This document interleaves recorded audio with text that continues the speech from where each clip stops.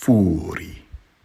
Villula vestra non ad austri flatus oppositast, nec quad favoni, nec saivi bori aut appeliotai.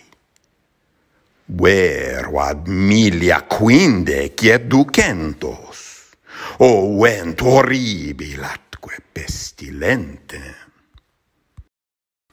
Furious.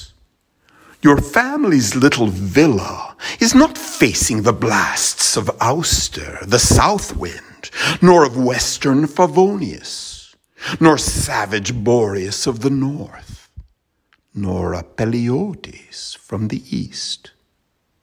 But indeed a debt of fifteen thousand and two hundred.